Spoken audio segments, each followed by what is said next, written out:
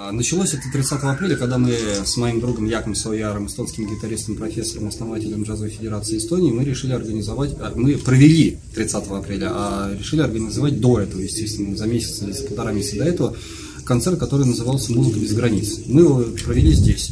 Я играл на башне, а, на колодезной башне в Авангорде, а Як был напротив меня на полубастионе Спец в Нарвском замке. А, концерт проходил в рамках Международного дня, дня джаза. Много очень было откликов э, прекрасных. И вот мы решили а, продолжить эту традицию. Концерт наш называется «Музыка двух берегов», «Джаз-клуб двух берегов».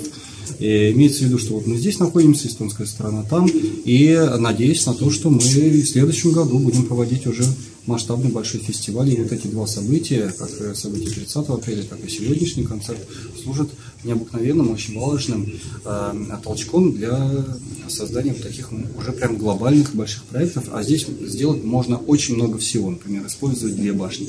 Можно проводить лекции в амбаре. Здесь прекрасное место для перформансов.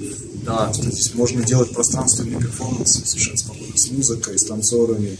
Вообще освоение пространства это в последнее время тренд, в том числе европейский тренд.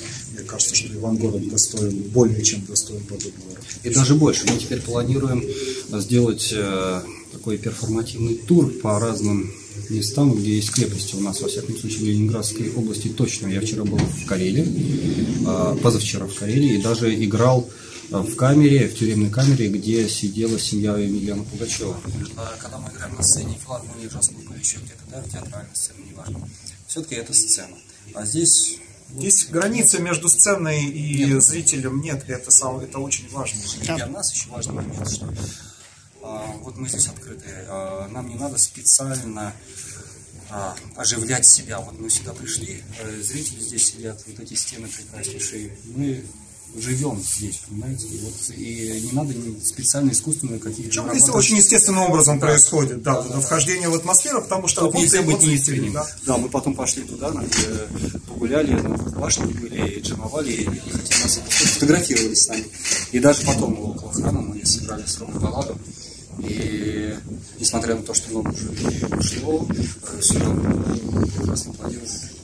Мне кажется, что здесь такое э, сообщество очень хорошее, очень крепкое, потому что э, когда приезжаешь в так называемую провинцию, контакт э, с публикой гораздо быстрее и крепче складывается чем в так называемых, опять-таки, столицах. Так называемые столицы в какой-то степени избалованы. Да, да, да. А эти люди абсолютно искренне, они слышат звук, и они на него идут. Знаете? И а, помимо этого, конечно, очень замечательные диалоги потом после концерта. То есть оценки совершенно, так сказать, зрелых, э, очень образованных людей, очень глубоко мыслящих. Это очень приятно. А еще, вы знаете, когда мы с Яковом играли вот, над Нарвой, э, мы слышали, как чайки нам вторили, как они пели вместе с нами. И ветер, все это прекрасно. И это, это все звуки, это все музыка. Я хотел бы всех наших читателей, а, всех зрителей пригласить на концерты, которые мы, и не только на наши концерты, но и в частности на концерты, которые мы здесь будем организовывать вместе с музейным агентством, с посольством Эстонии. А, мы очень планируем и надеемся на то, что мы провести двухдневный фестиваль, который по обе стороны на да, да, следите за нашей рекламой. Здесь да. выставки, лекции, все что угодно, перформансы, как Рома сказал.